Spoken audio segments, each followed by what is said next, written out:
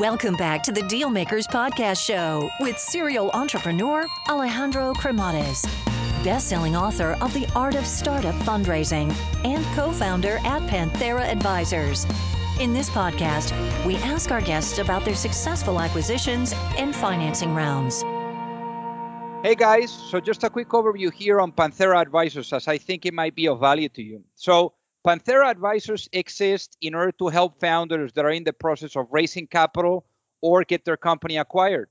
I actually started the company out of incredible frustration because during my entrepreneurial journey, which involved building, financing, scaling, and exiting companies, I could not find a resource that was founder friendly. And I could not get the type of support that I was seeking. So as a result, I made a ton of mistakes along the way. So if you're looking to raise capital, or you are looking to get your company acquired, or just need some sound financial planning, and you're looking to get the best possible outcome in the shortest period of time, feel free to learn more by visiting us at pantheraadvisors.com or just reach out directly and shoot me a note at alejandro at pantheraadvisors.com.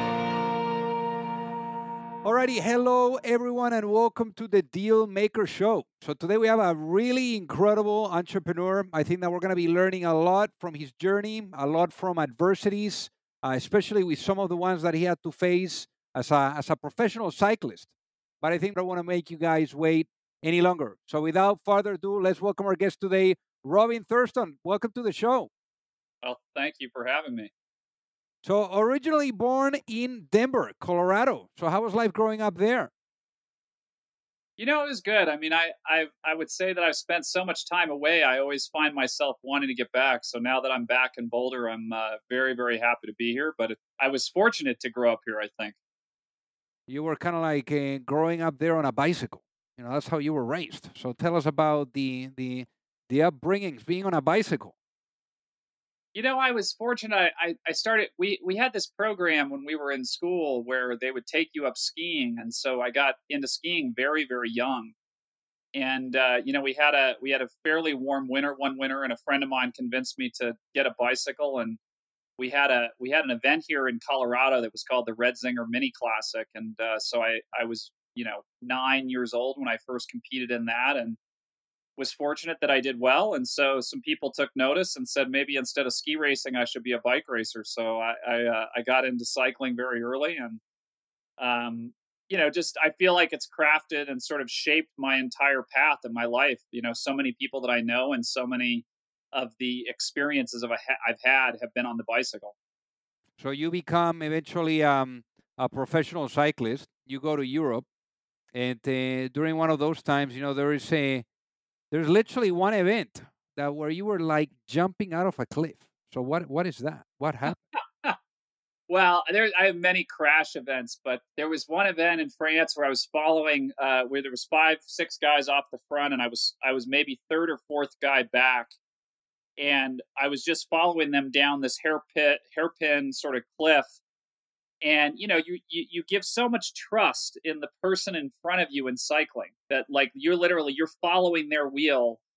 And one of the riders just went straight off the cliff like as if they just didn't hit their brakes at all and there was no guardrail or anything. So we just shot we, i followed him right off the side of the cliff fell probably 20 30 feet. I got very fortunate. I fell into a big grassy sort of patch he did not get so lucky i'm actually not sure what happened to him i know he broke his hip and had a pretty bad concussion at the time um, but I was sort of fortunate. I, I, crawled back up on top and I finished the race, and then I passed out at the finish because I had a I had I had a really sharp rock hit my elbow and put I had about 45 stitches in my elbow, but I had lost a lot of blood over the last 30 or 40 k of the race.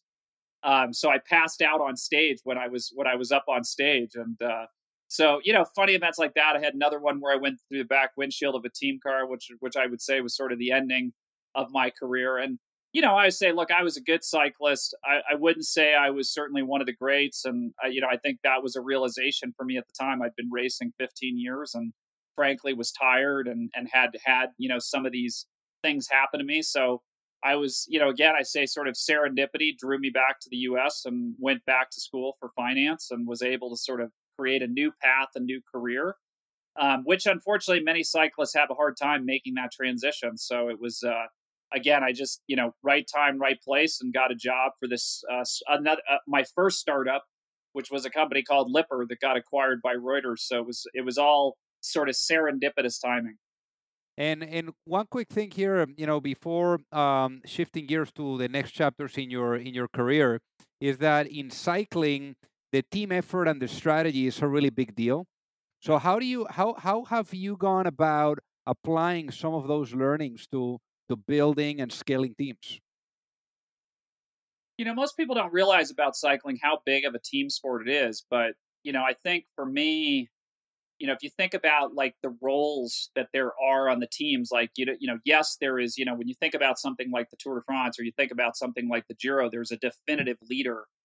Um, but the truth is that you get opportunities as an individual rider on the team sometimes if you're in, you know, the, the some of the strongest riders where there might be a specific stage or a specific, you know, um, you know, individual day of racing where the team gives you the ability. And I think, you know, that's that's something that I certainly have learned in building my teams is that sometimes, you know, it really isn't about how much spotlight is shown on you.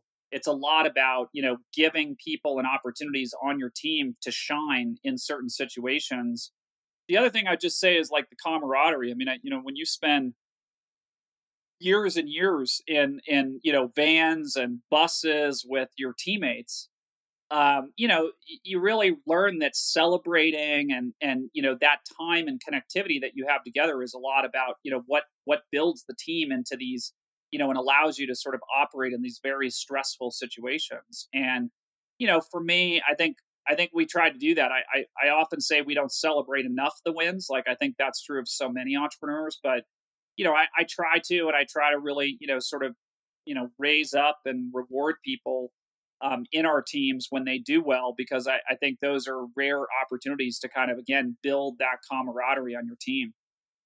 And in your case, I mean, obviously, like you were saying, you were lucky to to shift gears. You got your your degree. You went to um to to to actually work for different companies, and eventually, you know, here you are in Europe. You find yourself, you know, like having you know uh, uh, some drinks or maybe like some lunch with some friends, and then, you know, a very uh, interesting conversation sparked what became your baby, your idea to your first baby as a company. You know? So, so tell us about that, that discussion and how things came about, you know, those sequence of events towards bringing your first company to life.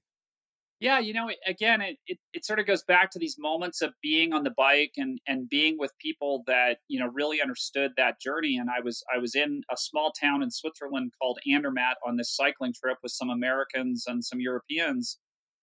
And you know, literally just one night at dinner, somebody said, "Oh, you know, it'd be cool if I knew the roads that you know here in Switzerland without you being here." And that that kicked off the idea for Map My Fitness, Map My Ride, Map My Run Map My Hike, all of those sites that, you know, I, I knew there were like travel books. Like I knew there were places that you could get these routes and you could look for certain things, but they weren't personalized. It wasn't like you and I know each other and I make a route for you specifically because I know kind of what what type of cyclist you are and maybe where you want to go or you tell me you're going to Switzerland and I could send you something and I happened to be working on a project where I was working with a very early version of Google Maps API. And so I thought to myself, I wonder if I could use that to build this this mapping tool.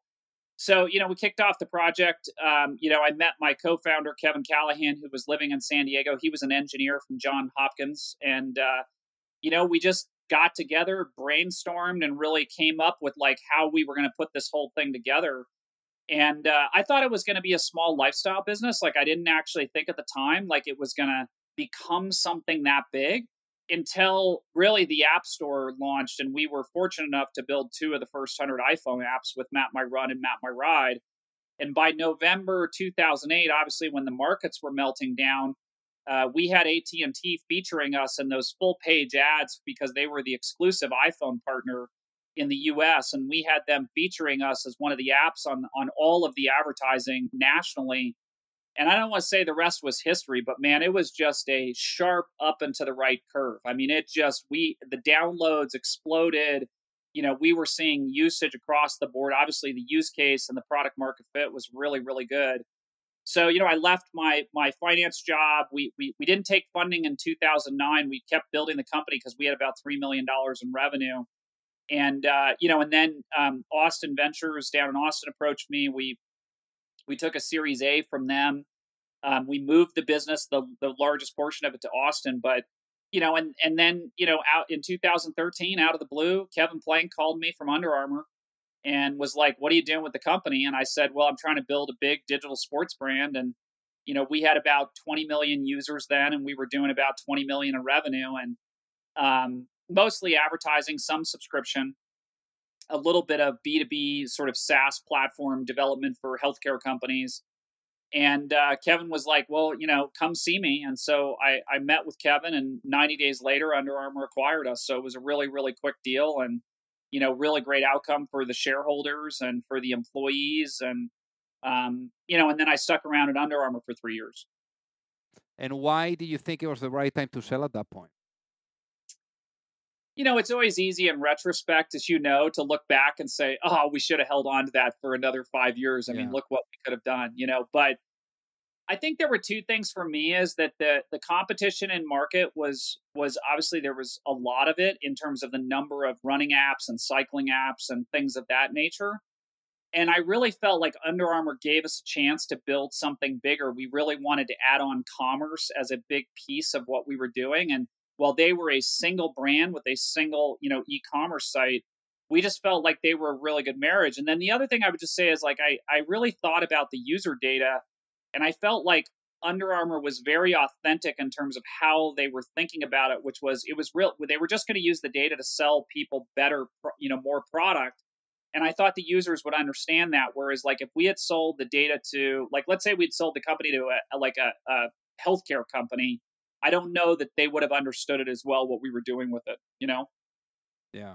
So what was the um the amount that was reported by the press uh, of the acquisition? For 150 million to Under Armour. Got it. Well, I'm sure that at that point you were able to be in a position to buy any bike that you wanted. yeah, that's for sure.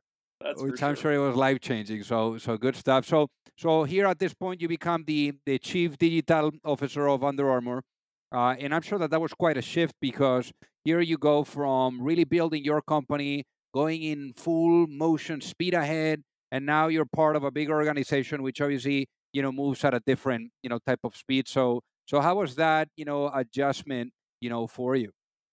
You know, as you said, I mean, Kevin Plank and Under Armour changed my life, and you know, feel tremendous loyalty to Kevin and the team. It was, um, I and I love sports. I mean, I'm not just a cyclist. Like I'm a huge football fan, soccer, Formula One, you know, basketball.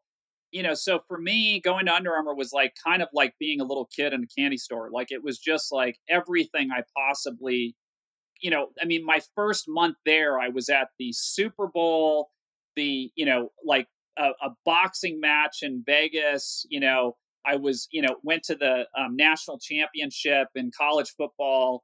You know, so like it was, it was just a really unbelievable time to be there, and the brand was kind of on. I mean, certainly was on fire when I when I first got there. I mean, the stock was at a peak. Um, you know, and so that whole time and the camaraderie that the team had, you know, I felt like was really incredible. And and frankly, I think was a unique situation for me. You know, sometimes as a as sort of a newcomer inside of an organization like that, it can be really hard. But I just felt like everybody from you know Kip Fulks to Kevin to you know Henry Stafford, they all just sort of welcomed me into the group. Um, and so that was it was certainly a big deal, as well as they needed a digital strategy. I mean, that's what we put together. You know, we bought we bought a total of eight other companies put them all together under connected fitness and really unified that to grow the e-commerce business. And it was a venue for us to be able to do that and and frankly really worked out. I mean i think the connected fitness um, sort of strategy was the right one.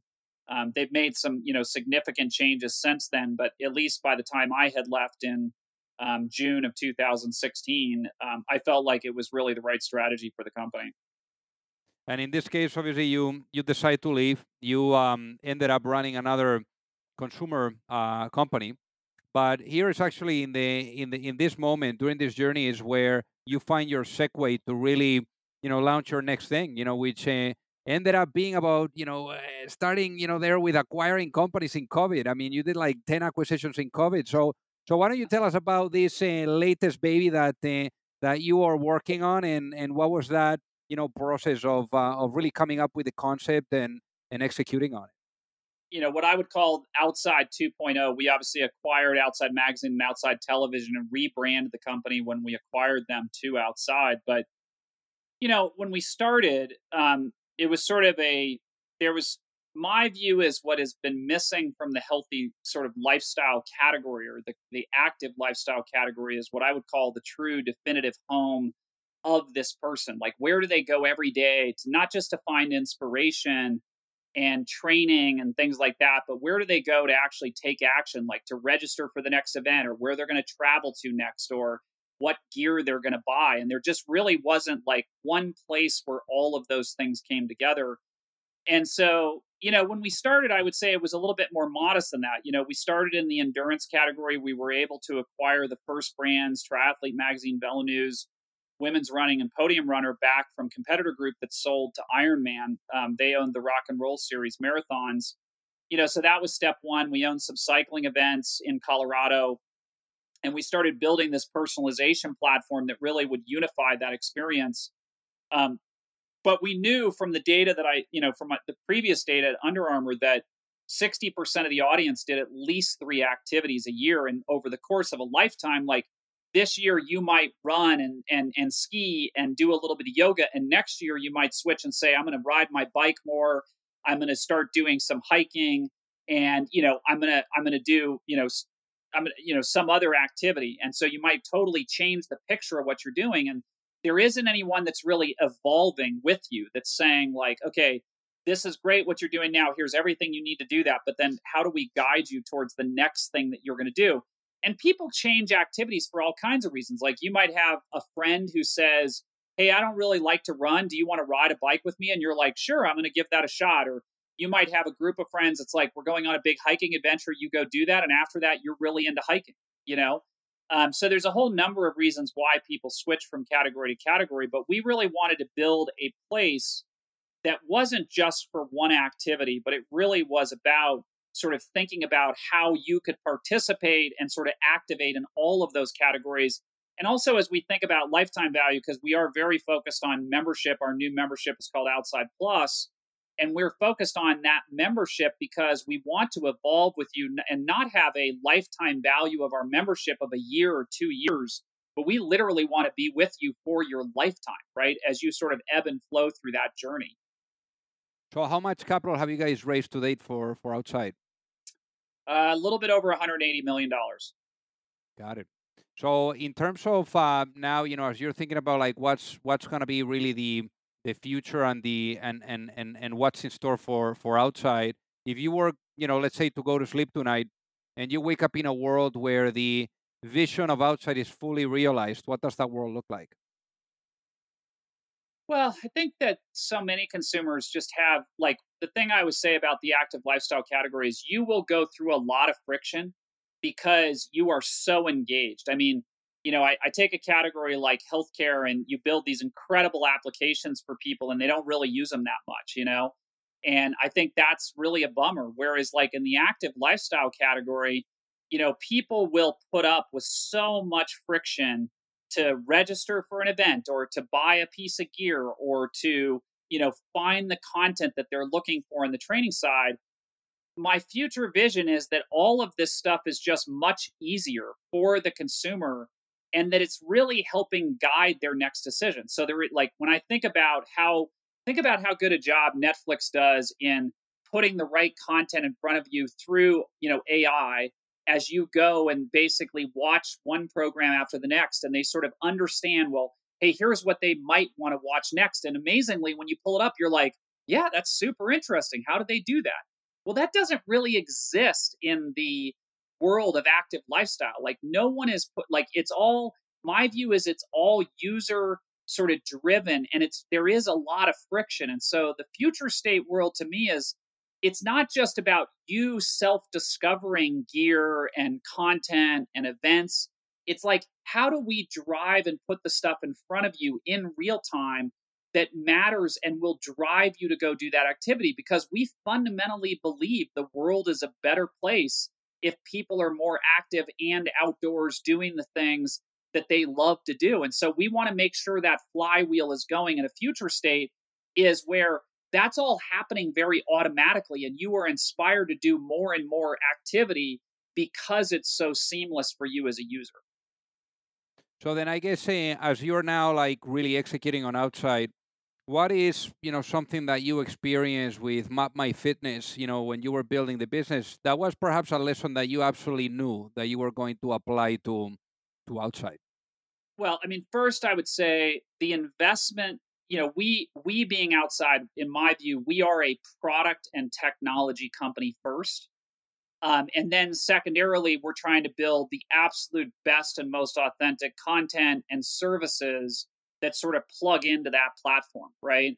And i think my experience at mapmy is that you know in some ways i feel like we lost at times maybe because we didn't build the the best product in market. I think we had a great product, but I don't think we necessarily had the best product. And and it was because maybe we didn't invest in much in you know engineering, design, product management as we should have. And so I think here one lesson is like we are over investing in that area to build this, you know, very holistic, personalized product for the consumer because we absolutely believe it will resonate with them over time.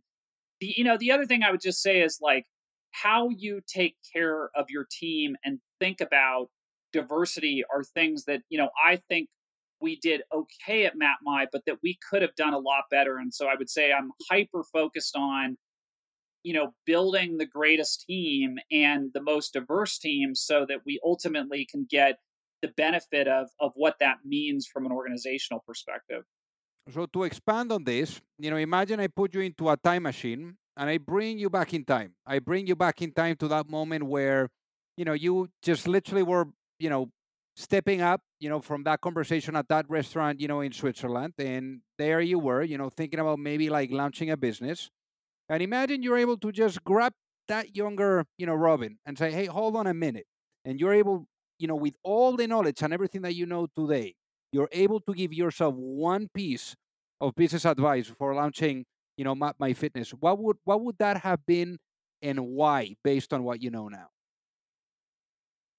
I would have grabbed that person and said, over invest in your team, whether that's the type of people and you know that you really invested your time in hiring um, the diversity of the team that we would have hired and how well you treat them from you know everything from compensation to equity to you know other benefits i i really would have said do more because i think i think the outcome might have been different. I'm not saying it was a bad outcome it was a great outcome and you know certainly very happy for where MapMy end up but i think it would have been a different outcome. Got it. And in terms of um, of books, what would what would you say is a book that you wish you would have read earlier? It's funny. I'm I'm reading a book right now. I'm going to forget his last name, but I'm reading a book called Product Led SEO by Eli. I cannot remember off the top of my head, but frankly, I read half of it this weekend in a, in a weekend, and it's just an extraordinary book. I would have read that earlier because you know we had one of the things I would say we did not invest enough in was essentially what I call sort of product, you know, development on the SEO side for Map My Fitness. It took us a long time. Once we got it right, we started getting an enormous amount of traffic from that very early, uh, you know, sort of like midway through building the company. And I wish it would have been earlier. Um, trying to think of another book that I just I, I, absolutely believe every entrepreneur should, you know, read. Like, you know, I don't know. I'm I'm sort of big on this idea that you you really have to motivate your team. If you don't work on motivating your team, you just simply aren't going to get there. So I know there's a lot of books that sort of try to inspire you around motivating your team, but I think it has to come from you. It has to be like really organic. Like you have to believe that in what you are building in order for your team to respond to that. And then you have to make sure you're telling them. You know, so any books in my mind that help the entrepreneur do that are going to ultimately help you craft a better story and message for your team. That's amazing. Yeah, I think that uh, without motivation, having that alignment and having the team with a sense of ownership is uh, is quite tough to achieve. You know, really, really great things. So, so Robin, for the for the people that are listening, what is the best way for them to reach out and say hi? Um, you can get me. I mean, LinkedIn is a great place. I would say I always respond to people in my LinkedIn profile. Um, certainly, you know, try to respond on on Twitter as a secondary. I use Facebook and Instagram more for my personal stuff, so not a great way. Like I don't do a lot of direct messaging in those channels. Um, but those are probably the two easiest ways to get a hold of me is Twitter and LinkedIn. Amazing. Well, Robin, thank you so much for being on the Deal Maker Show today. Hey, my pleasure. Thanks for having me. If you like the show, make sure that you hit that subscribe button. If you could leave a review as well, that would be fantastic. And if you got any value, either from this episode or from the show itself, share it with a friend. Perhaps they also appreciate it. So also remember that if you need any help, whether it is with your fundraising efforts or with selling your business, you can reach me at alejandro at pantheraadvisors.com. You've reached the end of another episode of the Dealmakers Podcast. For free resources and materials, head over to alejandrocremades.com. Thank you for listening and see you at the next episode.